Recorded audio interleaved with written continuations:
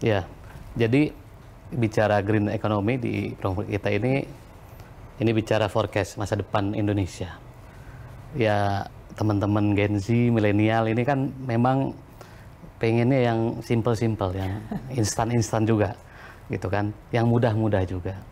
Jadi kayak tadi eh, soal digitalisasi, kita punya program untuk digitalisasi, bantu UMKM, termasuk UMKM yang dikelola oleh milenial.